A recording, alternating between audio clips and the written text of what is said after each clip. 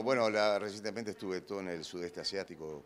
Sí. Este, estuve en Taiwán, estuve en Vietnam. A mí me gusta mucho la historia y se confabulaban varias cosas, por ejemplo, la, la famosa guerra de Vietnam, Saigón, Hanoi, y pintarlo. Mira vos. Este- Mi esposa es japonesa, así que te comprendo. Claro, claro. China, Bali, qué sé yo, este, Taiwán, todo, el sudeste asiático. Eso fue un viaje interesante por Sí. no he estado. Y estuve en, ba estuve en, en Dubái, estuve ahora recientemente estuve con, lo ane- lo- lo ane- que- es una anécdota del caso este, es que la hija del jeque que gobierna Dubái, es acuarelista, me encanta la acuarela. No no te vi la eh, foto, sí. y, vino conmigo, y entonces este, eh, no, es como el gerenciador de Dubái, es el dueño de Dubái. Es una familia riquísima. Sí. Y entonces este, tuve la suerte de conocerla y claro, iba a los mejores lugares.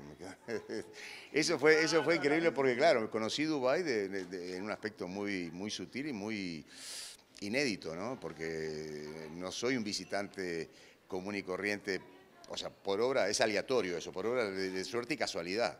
Sí. ¿Entendés? Las sazones de la vida, mirá. Claro, que conozco a esta persona y, y la verdad que no, no da la entrevista para que yo me despliegue en esto, pero fue, un- fue una visita divina y que no tengo palabras. Y después estuve también recientemente en eh, Abu Dhabi, lugares que no, no se emparentan con la, con la acuarela propiamente dicha. Tal ¿no? cual, que no tienen esa cultura, que vos le fuiste a llevar todo así como un, un regalo nuevo. Sí, sí, sí, sí, sí, sí, sí. No, no, fue una experiencia riquísima y no sé qué. Bueno, eso fue. Y después Europa, estuve en Roma ahora recientemente que, que había nieve. Te debe gustar mucho cada queso en, en Barcelona, ¿puede ser? encanta, Sí, sí, sí, sí. Y pero, po- por supuesto, o sea, lo que pasa es que, que, que, que Potreros era un lugar que yo no lo conocía, o sea, yo, tengo la, la mejor de las intenciones, tenía de venir acá y conocerlo.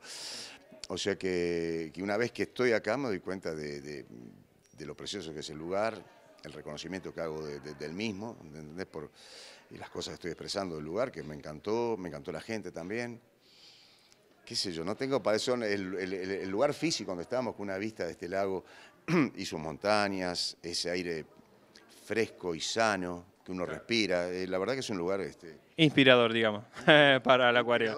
Claro, claro, a través de la respiración viene la inspiración artística, ¿no? Lo que- que- Tal cual. de- de- del foliaje del lugar, ¿no? Claro, ¿viste? Es un po- hay que hacer poesía también con la, con la, con la, este, la descripción del lugar.